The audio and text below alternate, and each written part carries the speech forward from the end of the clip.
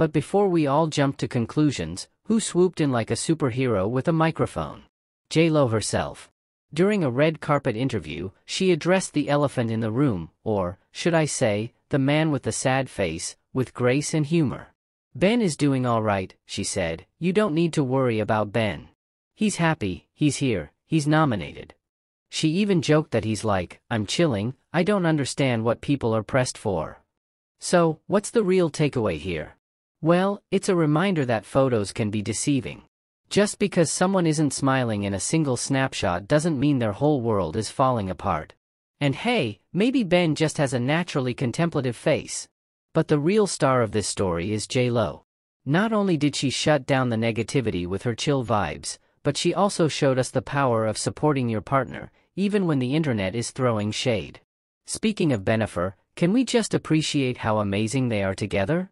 They've been through thick and thin, and their love story is truly inspiring. Plus, they have some of the cutest red carpet moments ever.